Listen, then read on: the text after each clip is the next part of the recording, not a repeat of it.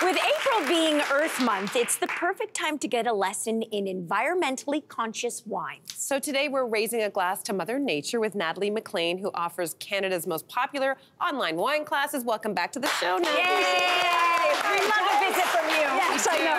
I know what that represents. So Natalie, there are several ways that a wine can be made eco-friendly. Mm-hmm. Um, and today we're gonna focus on a few of them today, starting with vegan and vegetarian wine. I don't know about Yeah. me, or you guys, like I, I didn't know, I assumed they were all Yeah, vegan. So, exactly. like, Grapes, it- right? Yeah, tell us not. about this. Well, it's all about the clarifying process. So Okay. let me clarify that for you. Okay, please, yes. And I should also note that I'll be using recycled humor throughout the segment so that I can I can minimize my impact on the audience. That's- okay.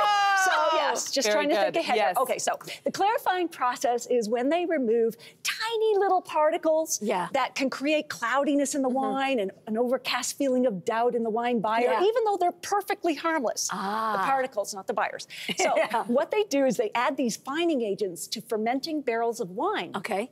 And as these float through the liquid, they glom onto these tiny particles, they float up to the top, and then the vintner scoops them out. Gotcha. Now, commonly used fining agents include egg whites, Ah. milk proteins, Oh. gelatin, animal, which are animal proteins, Yes. and bizarrely, isinglass, which are fish bladder proteins. Wow! Who knew? I didn't know this. Oh my gosh, Lots mind of raised eyebrows. Yeah. Yeah. And it doesn't change the taste or It doesn't anything, change it's just the, cl- the clarity. Exactly. So vegetarians are usually okay with milk proteins or egg whites. Yeah. But for vegans, all four are out because trace amounts could be absorbed into the wine, even though they are harmless. Yeah, fair enough. So tell us about the first vegan wine you've brought us. Okay, so we have the light, luscious Lillias Chardonnay from Westcott uh, Vineyards in Niagara.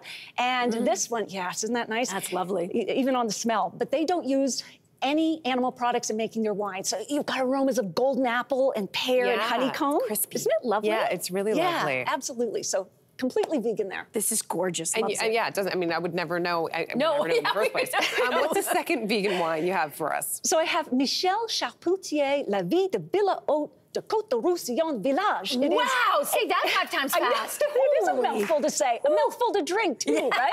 Yes. Um, so this is a lovely blend of red grapes from southern France.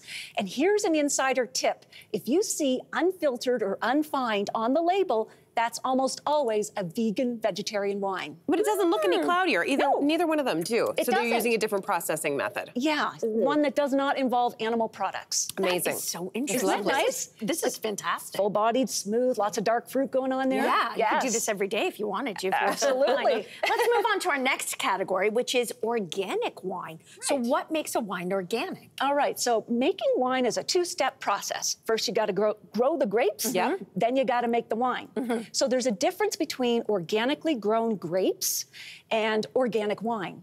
Oh. So the first one, I know, Okay. mind blown. Um, the first one means that the winemaker is not using any synthetic chemicals in the vineyard, like fungicides, Gotcha. fertilizers, all that sort of thing. Okay. Organic wine takes that to a next step further so that there is no synthetic additives or agents in the winery during the winemaking Oh. process. So both have to be together? Exactly, to get organic wine. Got it. Okay. And so what that results in is something that I think the wine is better for the environment, Mm-hmm. um, you know, local reservoirs of water, any potentially harmful chemicals, local wildlife, not to mention the people who work in the vineyards and in the winery. Yeah. So organic wines are one of the fastest growing categories in the liquor store. I love that. Okay, so that the cool? first organic wine that you brought for us today is a rosé. Tell us about this wine while we sip. Okay, it's the Adobe from Emiliana. It's uh, organic Reserva from Chile. It has lovely aromas. Isn't that Oh, nice? yes. Oh my gosh. Uh, field strawberries and watermelon. I Mhm. love this one. This is Isn't my favorite nice? so far. Yes. Oh, good, good, This good, is good. so refreshing and crisp. And it's also vegan. So if you turn around the label to the back there, Jess, nicely done, you'll see a certification uh, symbol for organic and vegan. Okay. Yeah. Oh. So uh, that's where you That's look. you look for. I you love can it. look that. Now, there are wines that are following organic practices, but will not show that uh, that symbol. But if you see it, you know you're guaranteed. You know Okay. you're guaranteed. Yes. Okay, so tell us about the second organic wine you've brought us. Sure, I have Dog Point Sauvignon Blanc from New Zealand. Okay. The lovely, cool climate yeah. of Marlborough. You're Yeah, picking it up, yes. yes. So that's just bursting with grapefruit and limes and lemons, but not a hint of wet dog, right, Jess? Not No. a hint of wet There's dog. no dogs here. That is actually a term in wine. We don't want it. No. So, yeah, yeah, yeah. So, what do you think? I like that. It feels like cla- like textbook Sauvignon Blanc. It does. Yes. Yeah. It's mouth-watering and yeah, juicy. gets you right uh, in your yeah, exactly. Loves Um, it. okay, so there's another classification called biodynamic. So what's the difference between organic and biodynamic wine? So biodynamic takes organic winemaking to the next level, So it's right? like superhero wine. It's- yeah, it's like boom. Yeah. Um, so it uh, it connects uh, winemaking to the cosmos.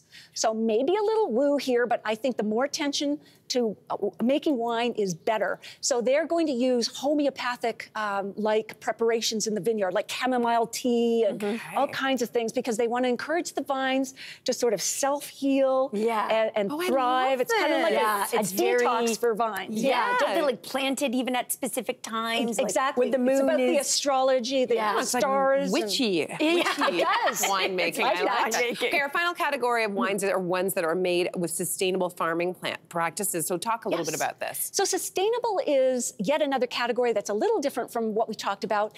Um, what the winery is trying to do is minimize its impact on the environment Mm-hmm. by reusing, recycling um, all the energy and inputs or water, Okay. that sort of thing, while they make the wine. Oh, I love that. They often follow organic principles, but they're not guaranteed to be organic. Okay. Okay, so tell us about your first sustainably farmed wine. Yes, this is a full-bodied, luscious Syrah from.